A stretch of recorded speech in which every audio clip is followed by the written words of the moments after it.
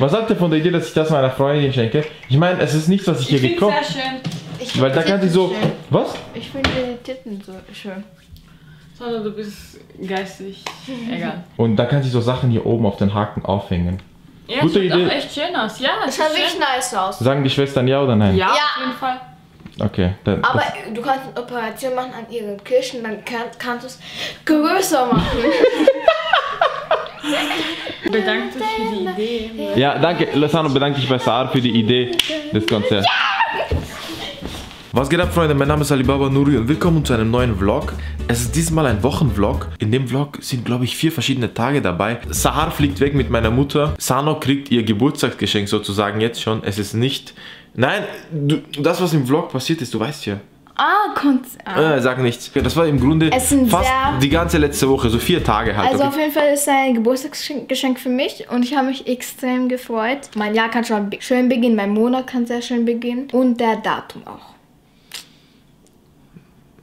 Okay, passt. Dann fangen wir an. Los geht's. Es ist 1 Uhr in der Nacht. Fast 1 Uhr.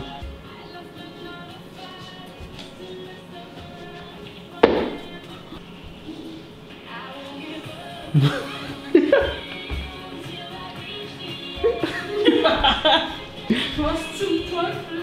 Das ist ein Vlog in der Nacht.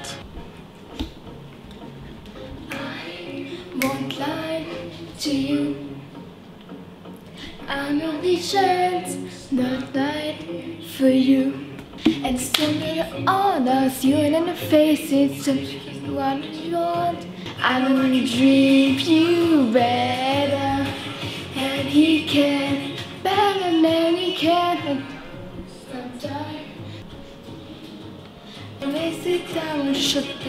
Macht sie ihre kleine Schwester glücklich. Ja. Better and he can. better than he can. better than he can.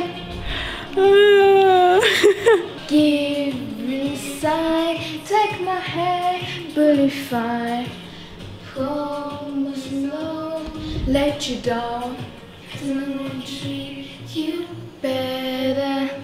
And he can. Okay, der war schön eigentlich. Weil normalerweise singe ich falsch, aber der war wirklich nice. Ich kann leider nicht tanzen. Es ist für die Leute, die Musik lernen wollen oder will, also wollen eigentlich. Eigentlich ist es sehr schwer, Musik zu singen, weil ich schwitze im, also ich schwitze schon und meine Lunge ist ganz kaputt irgendwie.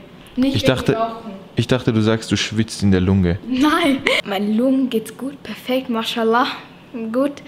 Aber ich rauche nicht. Deswegen, aber es tut trotzdem weh, wenn ich singe. Aber deine Lunge ist ja nicht da oben. ja, da, Junge, da. Da ist nicht deine Lunge, Sano. Also, deine Lunge hier tut weh. Ja, wenn ich singe. Sarah, willst du nicht als nächstes singen? Sing was auf Afghanisch. Darde dan don doramu, dan don bodan don mezanam. Es ist fucking 1 Uhr in der Nacht. Radio Max, Frequenz B. Wetter. Jetzt tut mir ICP, ich habe gerade gesungen für die Fans und so. Jetzt muss mir auch etwas Ja, ich geb 90 sozusagen- Cent äh, ausgeben für ein ICP-Dose. Okay, ich gehe zur Tankstelle dann runter. Etwas. Okay, ich Wo gehe. meine Lunge wehtut. Okay. 2 Uhr in der Nacht. Ich war unten an der Tankstelle. Sahar schläft dort hinten. Zwei, ich, nicht eins. Bitteschön. Noch eins. Was? Noch eins. Okay, von mir aus. Von mir aus, bitteschön.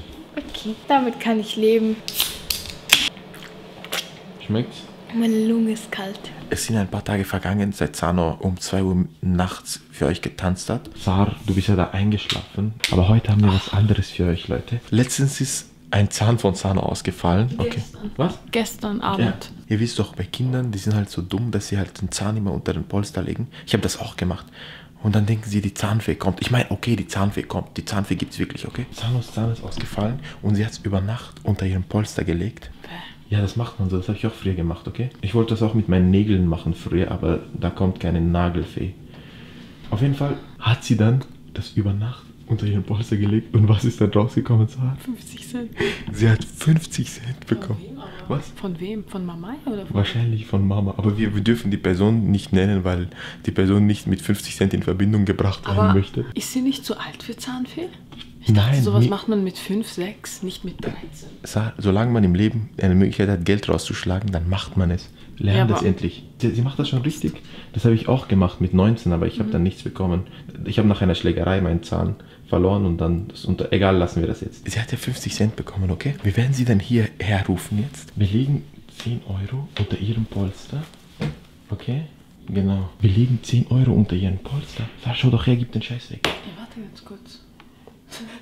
Sie sie hat einfach zwei von denen. Wir rufen sie jetzt her und dann sagen wir ihr, Sano, erzähl uns, wie es genau abgelaufen ist, wie du dich in der Nacht. Warte, mach nicht die Tür auf, beruhig dich mal. Sie soll erzählen, wie sie sich in der Nacht hingelegt hat und dann so äh, den Zahn unter ihren Polster gelegt hat und dann zeigt sie es uns vor, dann äh, greift sie unter den Polster oder macht, gibt ihn so weg und sieht dann die 10 Euro. Okay? Das ist der Plan. Wir wollen sehen, wie sie reagiert. Okay. Hallo Sana, Hallo Sano. komm mal mit. Komm mal mit, Sana. Nein, du sollst, du sollst uns eine kleine Geschichte erzählen, die du vorhin schon erzählt hast. Komm mal mit. Komm einfach. Wie ist langweilig.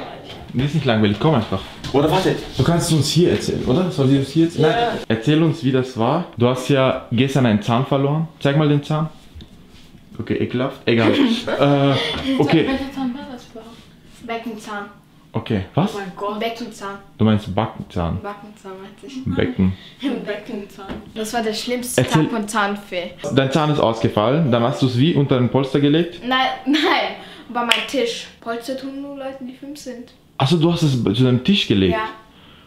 Okay. Wo beim Tisch? Wo der, wo Pop, wo das Pop steht von Stranger Things oben. Ach so. Bismillah.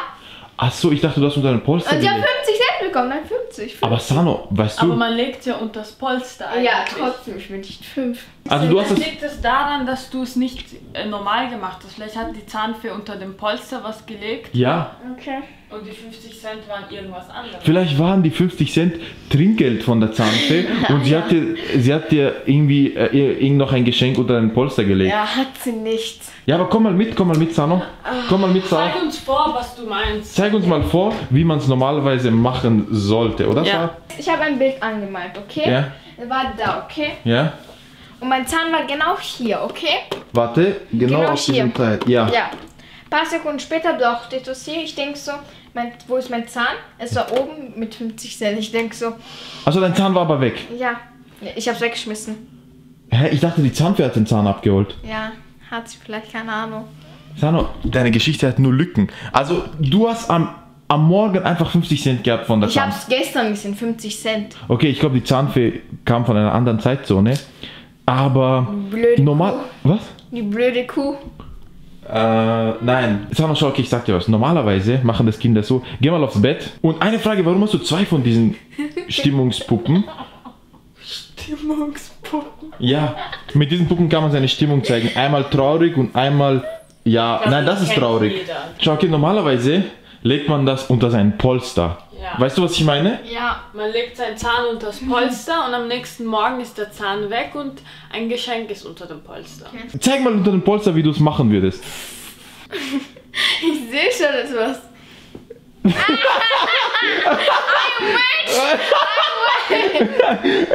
I'm witch! Zeig mal. Sie hat gewusst, dass sie was kriegt. Ja, Du das wusstest- Ja, aber ich wusste nicht was. Was? Aber ich wusste nicht was. I'm rich. Echtes oder fake ist. Ich glaube, dass Mama ihr deswegen nur 50 Cent gegeben hat, weil das wahrscheinlich ihre letzte Münze war, weil sie ja immer alle ihre Münzen nimmt. Stimmt, du nimmst immer Mamas Münzen weg. Stimmt Leute, ja. Egal. 50 Cent ist 50 Cent. Sie kann mir auch einen Schein geben. Dir ist klar, dass du auch für Cent dankbar sein musst. Ja, na klar. Wer den Cent nicht ehrt, ist den Euro nicht wert. Doch ist es.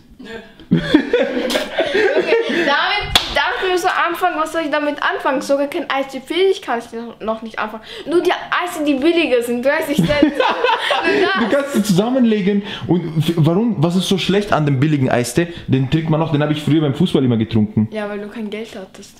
Oh shit. Gib mir jetzt mein Geld zurück. Was? Ja, gib mir meine 10 Euro. Nein. Es piekt und es bleibt auch. Warte, es gibt einen Spruch, warte. Irgendwas, es piekt und es muss auch da bleiben. Irgendwas, es- es piekt, also es piekt hier und es bleibt auch da. Okay, Leute, wisst ihr, welchen Spruch sie meint? Diese Woche ist es so, ihr müsst euch vorstellen, Sahara ist jetzt angezogen.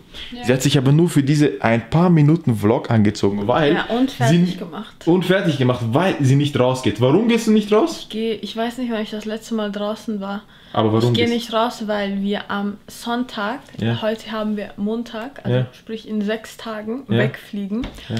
Und im Moment hat gefühlt jeder in Wien hier Corona. Einfach jeder. Ja, Und deshalb gehe ich nicht raus. okay. Damit Leute, ich hier raus kann. sie geht nicht raus, weil sie fliegt ja am Sonntag mit meiner Mutter weg nach Antalya und wir, die armen anderen Kinder, werden zurückgelassen. Entschuldigung, warum stellst du das jetzt so Also dar? mich dazu nicht, weil das ist der beste Jahr, den ich kenne. Was? Das ist der beste Jahr, weil sie gehen weg, da kann ich schlafen. Sie freut sich, dass sie in meinem Bett schlafen kann. Sano, es gab, ich es kann gab in Ruhe zocken, in Ruhe. Ich werde dich nicht in Ruhe zocken lassen, Sano. Dir ist klar, dass es mal Jahre gab, wo wenn Mama allein schon irgendwo hingereist ist, du geweint hast. Du hast mal in der U-Bahn in einem Vlog geweint. Vor zwei Jahren noch. Erst vor zwei Jahren war das. Und jetzt freust du dich, dass du das Bett deiner Schwester Ja. abkriegst. Und da war ich zehn. Ich denke, das ist ganz normal, als kleines Kind zu weinen, wo man die Eltern verpissen. Ah, Jetzt nicht mehr, Ja. aber ich werde bald 13. Oh mein Gott. Ich bin jetzt 13. Warte ganz kurz. Wann kommt dieses Video online? Was? Dieses Video kommt nicht vor Sonntag online. Wieso? Oder? So halt. Es kommt Warum? nicht vor Sonntag online. Warum? So halt, weil du sagst, dass wir nach Antalya fliegen. Und immer wenn äh, du so etwas hochstellst, kommt es dann nicht zustande. Weil es Unglück bringt? Ja. Ich werde es hoffentlich am Samstag noch hochladen. Nein, du wirst es nicht vor Sonntag hochladen. Doch, doch, doch. Du kannst es Sonntag 18 Uhr hochladen, da sind wir schon dort. Sano, wie machen wir das? Sonntag oder früher? Sonntag, 18 Uhr. Ja, sie will ja, dass wir gehen. Ah ja, stimmt. Sano will ja, dass ihr euch verpisst, so wie es ist. Sonntag 18 Uhr. Wir... Sano, was ist los mit Was, dir? ich habe einen Snap gemacht. Und was sind das, diese ekelhaften Tiere? Was so Ey, wir lernen nicht meine Wie heißen sie eigentlich? Haben sie Namen? Ja. Oktopus. Warte, du nennst deine Octopussis Octopus? Ja. Ist eigentlich die Mehrzahl von Octopus Octopussis? Oktopathen? Äh, Octopussis. Ich möchte euch noch eine Sache zeigen, okay? Ich brauche eure, euren Schwestertipp. Lieben wir. Ich brauche euren Schwestern-Tipp, so Frauentipp, okay? Nicht, dass Männer nicht auch solche Tipps geben könnten, aber Frauen sind einfach viel bessere Menschen. Ja, ihr wisst ja, ich habe eine Freundin. Also, Ja. Ja. Und wenn du sagst, I'm breaking up, dann fetze ich dich. äh, nervt sich Sano. Äh, ich hab, ihr wisst ja, Sano, was machst du? Ihr wisst ja, bei uns im Gebäude hinterlassen ja Leute immer so Sachen auf Fensterbrettern unten beim Aufzug und man kann diese Sachen dann gratis nehmen und weiterschenken. Ja. Ihr wisst das. Und jetzt kommt so ein Verlobungsring. Und ihr wisst ja, dass meine Freundin seit kurzem näht. Also gerne näht.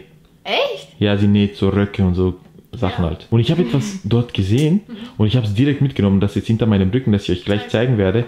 Schaut nicht, das ist, dass ich euch gleich zeigen werde. Ich habe es jetzt aus dem anderen Zimmer geholt. Ich weiß nicht, ihr müsst mir sagen, ob es eine gute Idee ist, sowas weiterzuschenken, weil im Grunde habe ich es gefunden. Versteht ihr? Das war gratis. Egal. Eins, zwei, du musst immer was zahlen, ja? Ja, 1, 2, 3, das hier. Das habe ich eh vorhin gesehen. Wow. Ja, was sagt ihr dazu? weiß, oh Gott, Lass- hast du das desinfiziert? Lass mich mal kurz. Oh nein, desinfiziert habe ich noch nicht. Ich muss es desinfizieren. Lass, lass mich mal. Nein, das ist alles alles chill. Hab, hab keine Angst mit Desinfektionsmittel. Leute, Sarah hat Angst, Corona zu kriegen wegen Türkei. Warte, lass mich mal. Wie groß sind die? Was? Wie groß sind Sarah, lass die Titten in Ruhe, bitte, okay? Was ist dann das da? Sarah, Junge, das ist nur eine Frage. das ist der Arsch. Und lass die Kette in Ruhe. Au! Das reicht nicht. Okay. Also, was haltet ihr von der Idee, dass ich. Was machst du, Sarah? Beruhig dich. Was haltet ihr von der Idee, dass ich das meiner Freundin schenke? Ich meine, es ist nichts, was ich, Ich hier finde gekauft es sehr schön. Ich Weil da kann sie so. Schön. Was? Ich finde die Titten so schön. Sondern du bist geistig. Egal. Und da kann sie so Sachen hier oben auf den Haken aufhängen. Ja, Gute sieht Idee. auch echt schön aus. Ja, es ist wirklich nice aus. Sagen die Schwestern ja oder nein? Ja, Ja. auf jeden Fall. Okay. Dann, Aber das, du kannst eine Operation machen an ihren Kirchen, dann kann, kannst du es größer machen.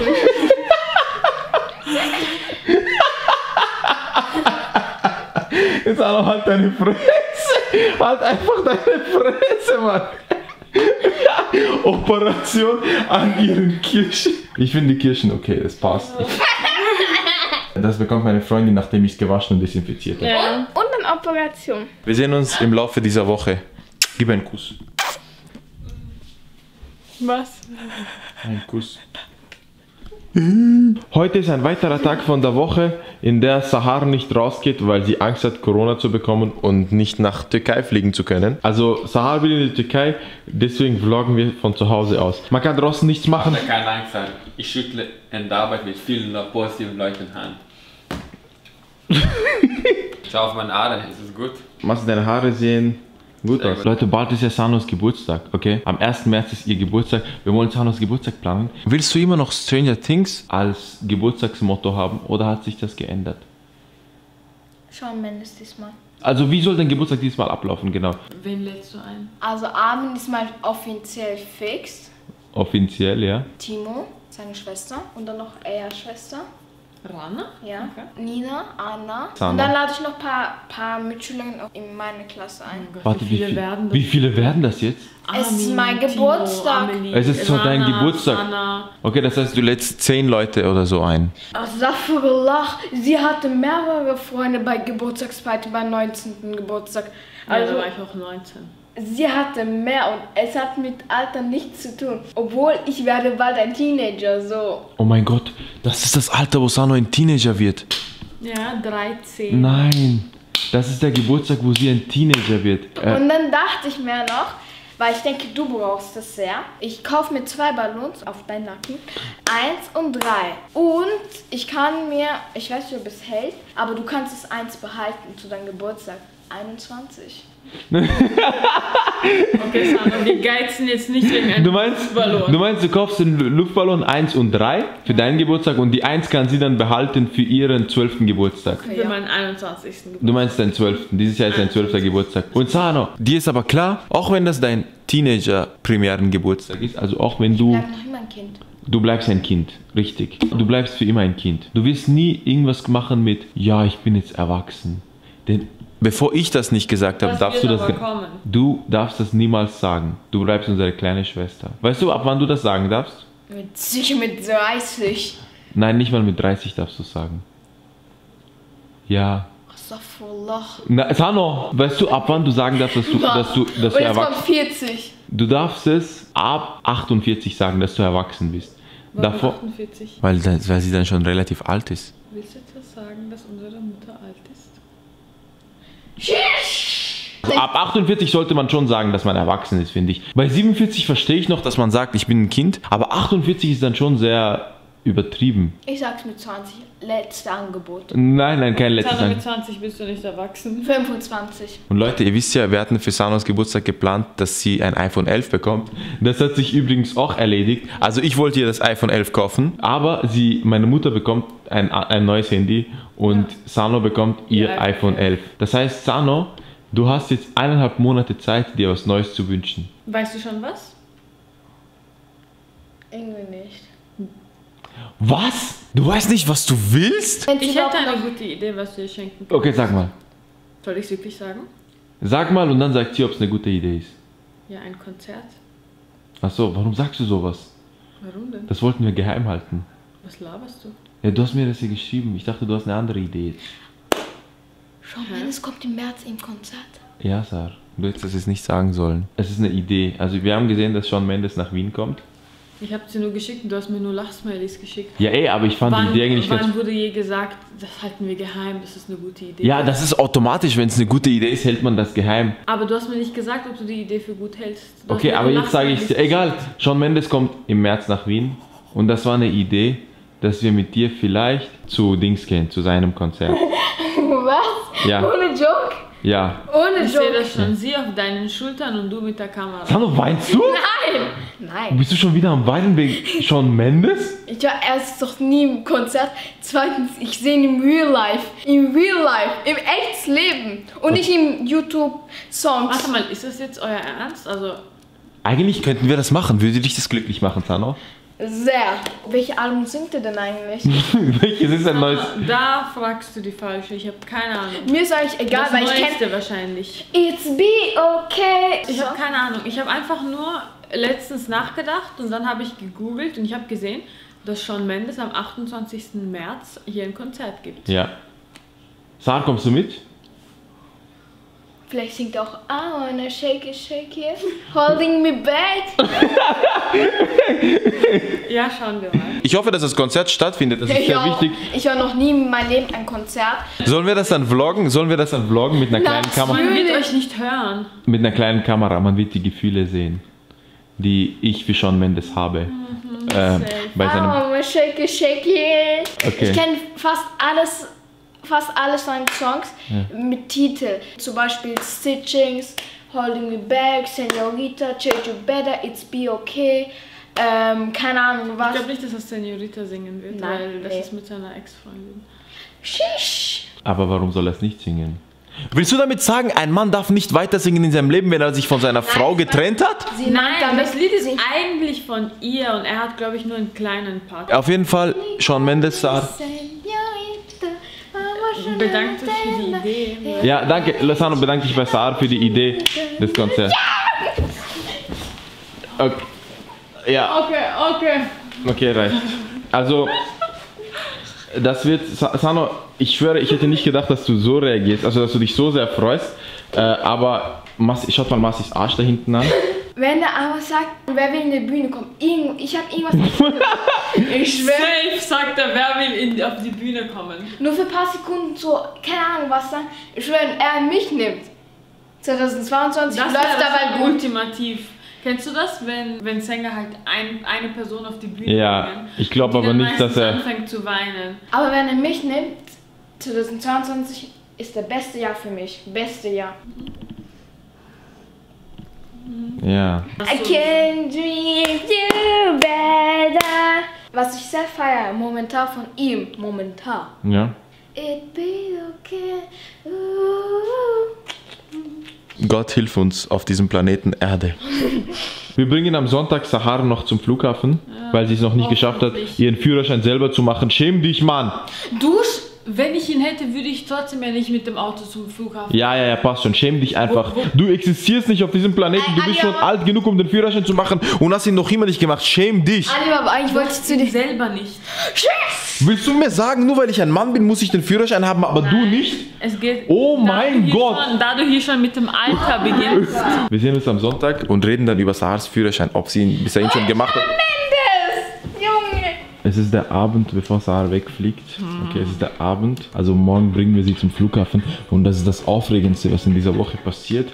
Aber das ist nicht das Aufregendste, was für Sano passiert. Bei Sano passiert. Sano, was ist gerade passiert bei dir? Ich habe ich hab 20 Euro von Massi bekommen. Stell dir vor, wir haben kein Geld, keine Bankomatkarte, nichts. Wo leben wir dann? Straße. Also ich schon dankbar, dass man Geld hat. Mit 30 Euro kann man die Miete zahlen.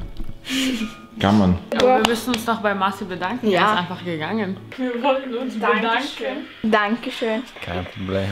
Geld ist nicht alles, aber noch mehr Geld ist alles. Ich habe letztens einen TikTok gesehen von so einem Mädchen und sie hat gesagt, Leute, Leute sagen immer, Geld macht nicht glücklich. Das stimmt, aber kein Geld macht definitiv Das habe ich auch gesehen, das Video. Ja. Du bist doch gerade ein glücklicher Mensch. Ich fand es einfach gut. Es Aber warum bist du glücklich? Weil ich euch hab. Oh. Okay. Und warum noch? Weil ich etwas habe. Was denn? Zu Hause eine Wohnung. Ein Dach über Kopf. Es ist gleich 6 Uhr. Madame Tussaud, schauen Sie her. Wie geht's Ihnen? Gut. Hallo Sahar. Hi. Wie geht es dir? Gut. Ihr habt gehört, Sahar geht's go. Mir geht's auch go. Hör auf, ich muss lachen. Also wir fahren jetzt gleich zum Flughafen. Willkommen zu Flüchtlinge reisen legal. Sieht man uns jetzt? Man sieht dich. Sie findet Chai mucho gusto. Hallo, Hintergrundgespräch. Ja. Deswegen warte ich immer, bis ich was sage. Wir müssen hier bleiben, in Wien, bei minus wie viel Grad? Minus 5 oder so? Niemand hat gesagt, dass du musst. Das für dich? Ja, ist so. Plan mit Anna etwas. Ich habe mit Anna schon Istanbul geplant. Ja, eben. Aber das ist nicht. Was? Du bist so arm. Was? Ach, seriously? Was? Was redest du?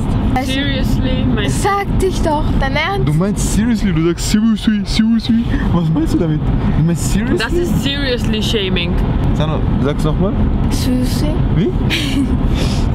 Sag doch mal bitte. Sushi. Seriously. Sag, seriously, dass du wegfliegst? Seriously. Seriously. Wenn wir dort landen, ist es hier 11 Uhr irgendwas und dort haben wir es dann aber 13 Uhr schon. Ja. Ja. Das heißt, ihr verliert zwei Stunden vom Urlaub. Ihr verliert einfach zwei Stunden vom Urlaub. Wir verlieren gar nichts. Doch, ihr verliert zwei Stunden. Ihr würdet betrogen. Das ist nicht eine Woche Urlaub, das ist sechs Tage und 22 Du Stunden Urlaub nur. finden, Sechs Tage um und uns 22. runterzumachen. Ey, ehrlich, eine Woche, also sieben Tage Urlaub hätte ich genommen, aber sechs Tage und 22 Stunden Urlaub hätte ich nicht genommen. Das ist mir viel zu wenig. Samot, ein interessantes Video. Zeig mal her. Ein türkendes Baby. Auch Babys, die dürfen twerken. Weißt du warum? Das ist Gleichberechtigung. Ich gehe bei einer Projektwoche. Es ist ein kleines Urlaub über Kultur und so. Wir lernen über Ägypten. Kleines Urlaub über Kultur. Leute, es haben bald kleines Urlaub über Kultur mit der Schule. Das ist Amorstenpflicht. Ah ja. Du hast ja gar nicht erklärt, mit wem ihr genau hinfliegt. Also, wir fliegen mit unseren wundervollen fünf Tanten. Ja, Sie hat fünf, Gesch äh, fünf Schwestern. aber die kommen alle von anderen Ländern. Anderen Ländern, ja, also von Kanada, Schweden, London und Amsterdam. Dort ist halt auch die, unsere Cousine, die übrigens auch mal ein Video mit uns gemacht hat. Ah, ja, sie ist auch dabei. Das heißt, ihr habt jetzt sieben Tage Urlaub, so Frauenurlaub. Genau, und meistens ist es halt so, dass die miteinander sind und dass sie und ich uns schleichen, Warum darf ich nicht mit beim Frauenurlaub? weil du keine Frau bist. Aber das ist doch, wo ist die Gleichberechtigung? Weil du hast einen Schwanz. Und Wir haben gerade das Gepäck aufgegeben Ja. und die Frau am Schalter meinte, dass sie uns von TikTok kennt. Sano, das ist alles weg, ich reite Biene. Hast du gerade die Kraft von Ich reite Biene gesehen? Ja, die war echt sympathisch. Ja, auf jeden Fall. ja, urschön. Ich weiß noch, als wir mit der Schule geflogen sind, waren wir auch genau hier. Also genauer bei dem Am Flughafen meinst du? Ja, Salman, am Nein, Flughafen ich meine bei diesem Terminal. Tschüss, tschüss, tschüss. In meinem Bett. Danke. Tschüss, Sar, du Opfer. Die Idioten sind weg. Unser Leben geht traurig weiter in Wien. Das ist unser trauriges Leben. Die haben, die sind so früh, dort ist schon Sonne und heiß und so. Das Ergebnis bei Vienna, gucken Sie hier an. Das ist das Gegenteil davon. Ja, einfach nur Minusgrade, Arschwetter und Depressionen. Das ist das Leben, das wir lieben. Das war's mit dem Video. Danke fürs Zuschauen. Wir haben jetzt unsere Mutter und unsere komische Schwester jetzt zum Flughafen gebracht. Die fliegen weg. Es war am Ende schon nice, dass die eine vom Flughafen, also am Schalter uns kannte. Das war so ein besonderer Moment um 7 Uhr morgens in meinem Leben an einem Sonntag. Das war schön. Sorry. Ich habe eine Freundin. Abu, Okay. dann klär mit dir etwas. Wir sehen uns beim nächsten Mal. Folgt mir auf Instagram, folgt mir auf Twitch. Das war's. Auf Wiedersehen und hasta la! Vista!